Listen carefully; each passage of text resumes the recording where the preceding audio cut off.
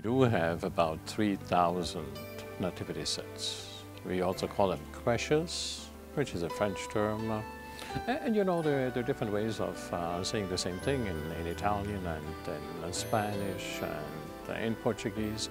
But they all have uh, some connotation with uh, home. And uh, that's one of the reasons why for this particular year, we thought it would be a good idea to call the overall theme, No Place Like Home. And when you look at these two pieces, they're somewhat uh, important in order to bring that message uh, to, uh, to bear on the people who uh, look at them. Uh, because this particular nativity set is the situation where uh, many of us are actually found. We're looking for a home, we're looking for a direction, we're looking for orientation in life.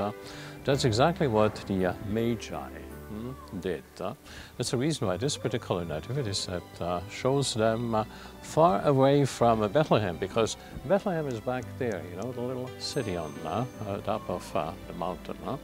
So they're studying their uh, maps in order to be sure, you know, which way to, to go. So that's the beginning of the whole story. The beginning where people are looking for a home. Whereas uh, when you look at this particular nativity set, uh, that's where uh, ultimately home is found uh, as far as the Nativity is concerned. This represents a church uh, facade uh, in uh, Poland, as a matter of fact. And you always have two levels in these nativity sets. One represents the nativity, which is uh, the second level. And on the lower level, you have a particular scene. Here in this particular case, it is a baptism. Hmm?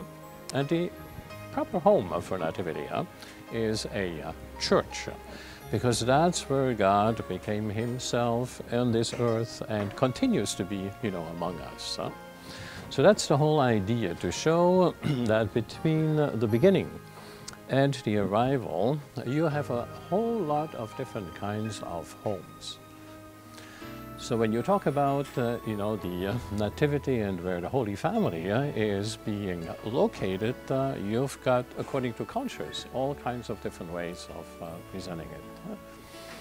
You know, when, when you have 3,000 nativity sets, uh, we also, you also have a lot of different countries where they come from.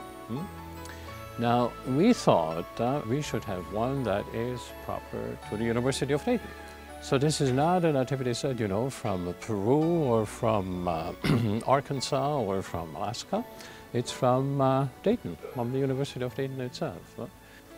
So all of this here, you know, helps us to lead people into the uh, exhibit as we uh, baptized it, meaning no place like uh, home.